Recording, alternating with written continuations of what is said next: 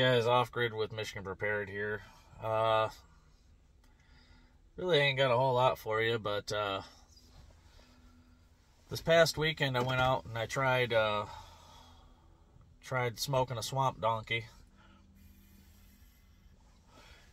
and uh,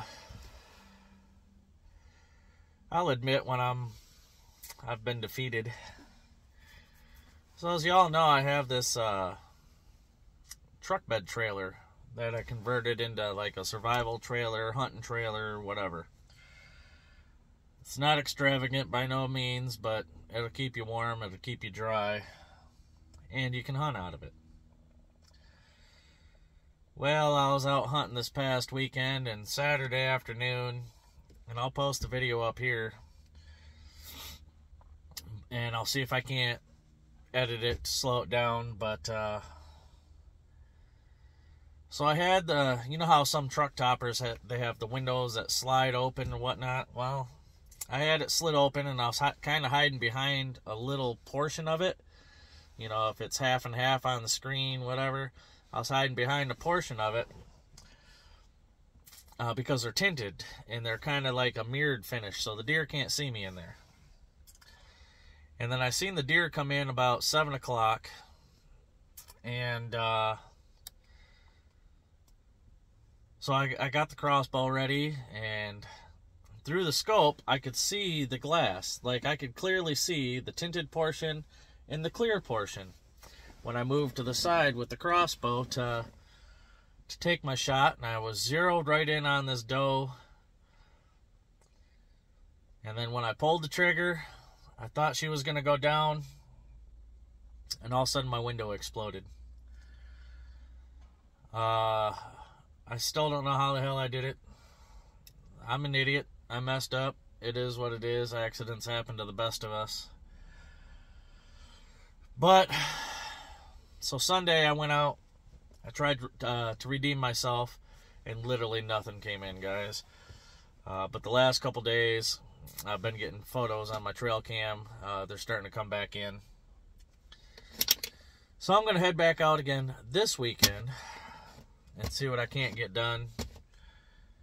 It's just a shame that uh, that I messed up as bad as I did. It sucks. I really wanted to take a, a deer this weekend, and the problem is too is like I want to take one on a Saturday because then I have Saturday night and all of Sunday, you know, to to let it hang a little bit, to skin it out and quarter it up. But Sunday, if I if I take one Sunday, then I have to come up with the money to uh, to take it to a processor because I just won't have the time and I can't let the deer hang all week. It's still too warm outside. Um, and the meat will go bad. And that's the whole point of getting a deer is, you know, collect the meat, obviously. So, I don't know. Hunting this year, is I, I think it's going to be hell because I got a different schedule. Um, I've only been working uh, for well, I've been working for this company for six years. Uh, Ruan, right there, the hat. Been working for this company for six years. Um, and for the first five years, I was hauling milk. And the way the schedule worked over there was you would alternate weekend or well days off. So you'd have two off and then you'd have three off. You'd have two off and then you'd have three off. So your schedule is always moving, and it worked out great because most of the time I would have, you know, three days off during the week, which was awesome because I could get stuff done, doctor's appointments, whatever, and I didn't have to take days off from work. You know what I mean?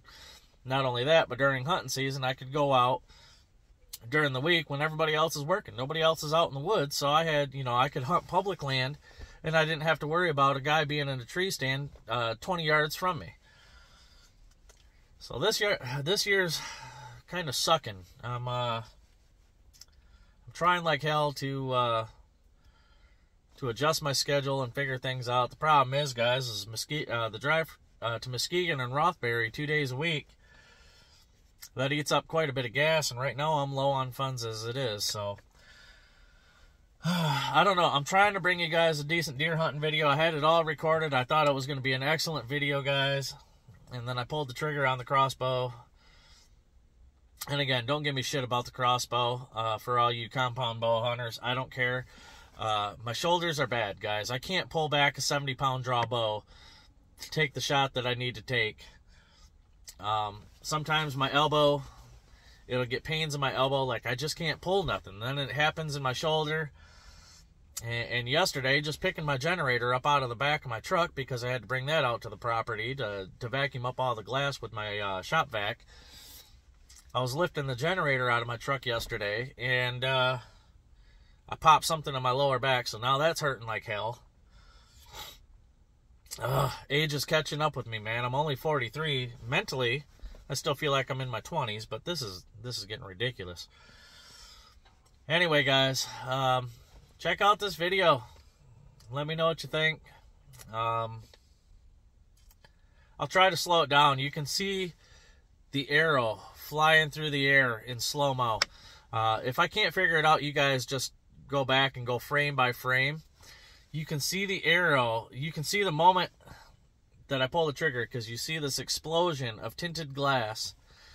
And then you can kind of see the arrow flying through the air and it hits just where the deer stand and the arrow hits just in front of her.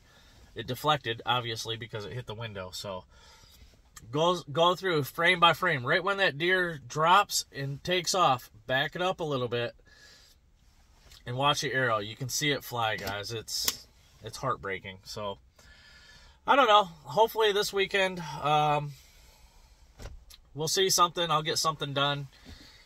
Um, I know where the deer are coming in, and uh, actually, I kind of want to show you guys something. I discovered it last week, and when I was out hunting, there's a hill right next to where all the deer are coming in at. And it's a pretty tall hill. And what I'm thinking is I can go on top of that hill and I can dig down so I can have a man shelter and I can put a roof over it to keep it from filling with water and, and snow and whatever else. But just put four sticks in the ground with like a metal roof over the top and then I can slide down into that little rabbit hole and I can just lean over the top and scan and I don't think the deer would see me, especially with my ghillie suit on. So uh, I'm thinking about digging into this this hill and, and making a deer stand up there if you guys want to see that, you let me know.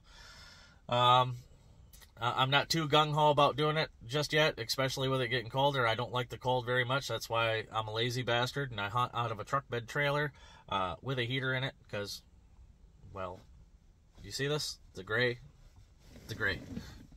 Yeah, well, sun bleach doesn't help, but yeah, the gray. Uh, the bones ain't what they used to be.